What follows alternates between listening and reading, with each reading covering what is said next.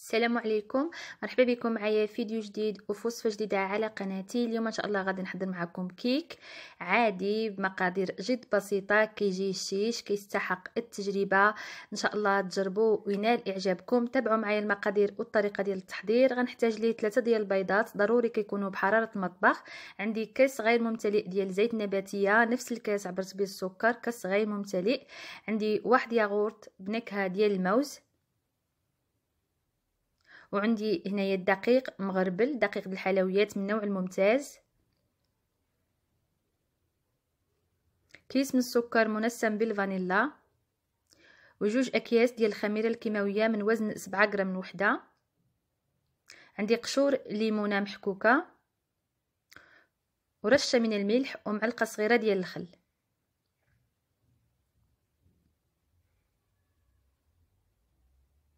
غادي نخدمو غير بالطراب اليدوي. في إناء غادي ندير البيض.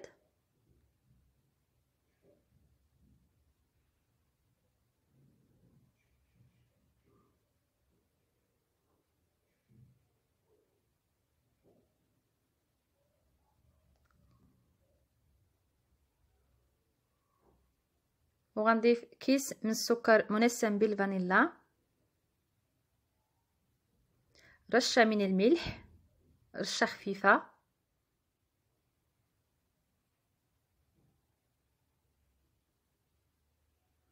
وكاس غير ممتلئ ديال السكر الخشن غادي نخدم هاد المكونات مزيان مع بعض. عاد نضيف بقية المكونات.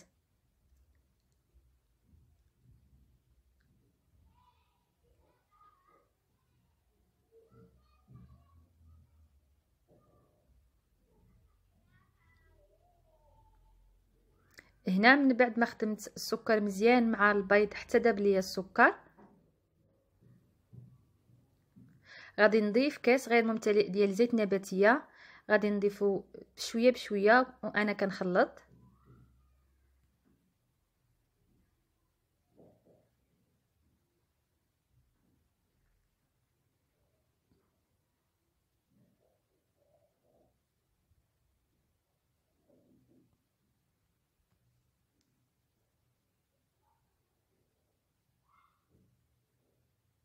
وغنضيف معلقة صغيرة ديال الخل. معلقة صغيرة ديال الخل كتعطي لها هشاشه الكيك ديالنا وكيجي هشيش من داخل قطني. كيجي رائع في المذاق وخفيف وناجح مئة في المئة إلا تبعتوا الطريقة يعني كيك عادي يومي وبمذاق هائل. الصراحة الياغورت ديال الموز كتعطي واحد النكهة في الكيك أفضل من بقية النكهات يعني ديال الفانيلا أو أي نكهة. نكهه ديال الموز كتجي في الكيك روعة مع قشور ديال الحامض ما كتكونش فيه نهائيا داك الريحة اللي كتكون في البيض داك النسمة ديال البيض ما كتكونش في الكيك بالعكس كيجي واحد المذاق وبواحد الريحة كتعطيه هو كيكون في الفران يعني كتعطي في الدار الريحه رائعة وبمذاق هائل وناجح. كيف كتشوفوا؟ كيف غتشوفوا معايا إن شاء الله كيجي شيش من داخل ومنفوخ وضروري تتبعوا الطريقة ديال التحضير باش ينجح معكم الكيك ديالكم إن شاء الله. هنا كنخلط المكونات مزيان عاد نضيف الدقيق. بالنسبة للدقيق على حسب البيض أنا دائما كنستعمل في هذه المكونات كنستعمل جوج كيسان ديال الدقيق ولكن اليوم عندي البيض شوية صغير يعني جوج كيسان حيت منهم معلقة كبيرة ديال الدقيق. دائما عندنا ميزاننا حيت كيختلف البيض يكون يقدر يكون البيض كبير يقدر يكون صغير وملي كيكون البيض كبير ضروري هنايا كنستعملوا جوج كيسان يعني في هذه المقادير جوج كيسان ديال الدقيق. أنا هنا غادي نضيفو غير بالتدريج شوية بشوية حتى نحصل على واحد القوام اللي كيكون خفيف باش يجي الكيك ديالنا هشيش. هنا غادي نضيف الخميرة الكيماوية 14 غرام يعني جوج أكياس ديال 7 غرام في المجموع 14 غرام مغربلة حتى هي غادي ندوزوها هنا. باش إلا بقات فيه شي كرة ما تدوش لينا في المكونات ديالنا. ندوزوها في الصفايه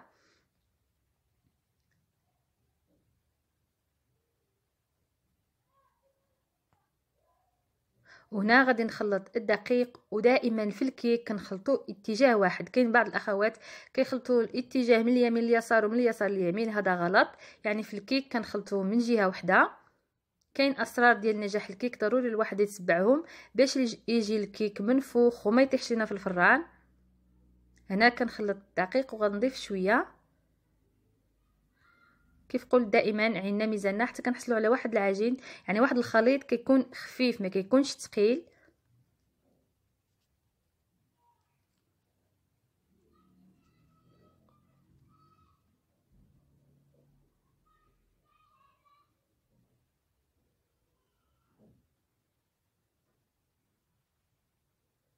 صافي هنا ضفت جوج كيسان حيت منهم معلقة كبيرة ديال الدقيق والدقيق ضروري يكون مغربل من قبل.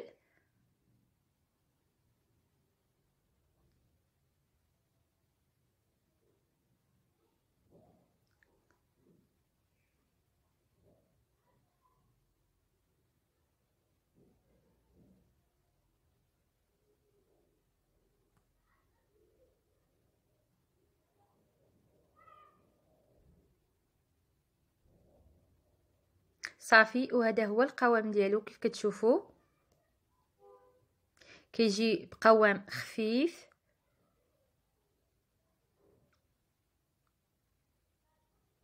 شاهدوا معايا القوام ديالو خفيف.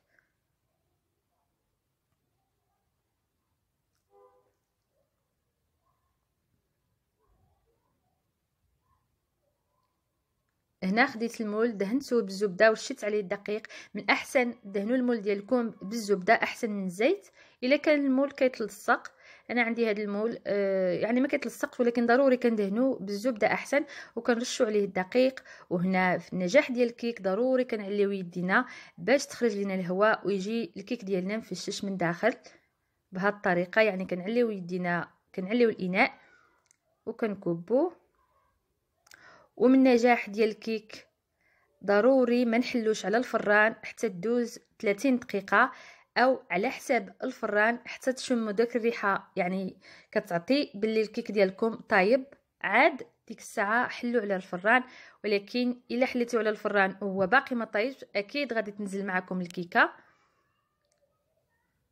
أنا آه، شعلت الفران ديالي من قبل؟ على درجة 180 درجة حتى يكون سخون بزاف. عاد ندخل الكيك ديالي ونخليه بالنسبة للفران ديال الضو 30 دقيقة. عاد نشعل ليها شوية من الفوق حتى يتحمر لينا الكيك وكنحيدوه وتشوفوا الشكل النهائي ديالو كي كيجي. صراحة كيجي روعة.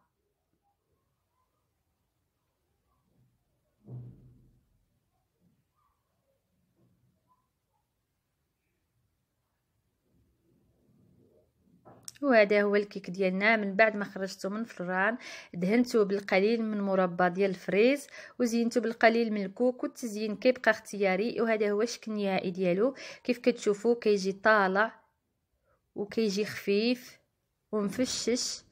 وبواحد المذاق رائع جدا. إن شاء الله تجربوا أكيد غينال اعجابكم كنشكركم بزاف على المتابعة وعلى التعليقات ديالكم الرائعة وعلى التتبع ديالكم. ومرحبا بكم. مرحبا بالناس جداد والناس القدام. ولا كنتم جداد معايا ما تنساوش الضغط على زر الإعجاب وعلى زر الجرس باش توصلوا بكل